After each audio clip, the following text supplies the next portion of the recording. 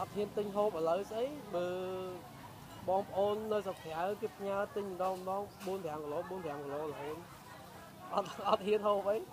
ខ្មែរយើងអត់ស្អីបរទេសហូបច្រើនជាងយើងទៀតហ៎